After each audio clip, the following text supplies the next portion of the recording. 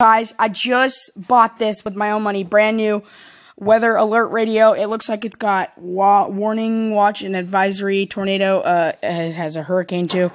Help keep your family safe. Early warning is your best protection. Uh, looks like it's a weather alerts displayed. Um, all hazards, SAME technology, NOAA public alert with the SMS right there. Uh, so let's take a look at the back real quick, and then I'll actually take it out the box. So features receives alerts for only your local area with specific area. Uh, stay safe. Re recommend the Department of Homeland Security for emergency preparedness.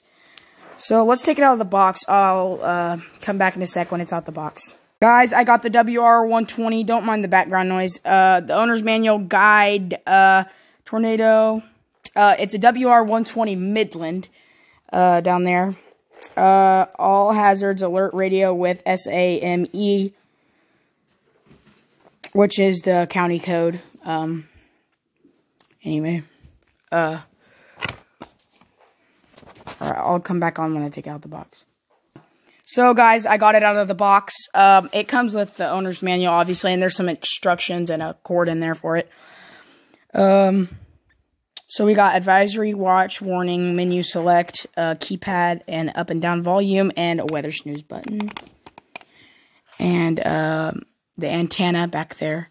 Um, I will do a review on it tomorrow, probably when I have it all set up or something. Um, anyway, um, I will take the cord out of the box now and be back in a sec. So, guys, it looks like it comes with a manual. Like I said, don't mind the background noise. Um, it uh, shows just a bunch of different kind of weather radios you can get. Uh, this is the one I have currently, the H H54VP.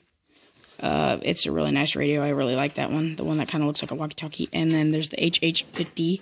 There's WR120, which is the one I just got. WR300. That one's a really good radio.